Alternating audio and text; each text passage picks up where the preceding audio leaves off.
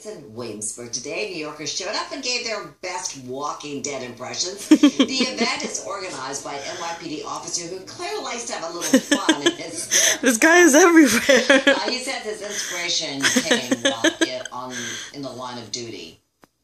Well, I was I was on the beat and uh, I was imbibed by Kabuki spirit. So this is uh, this is actually my actual face, and I I did get a little undead for the occasion.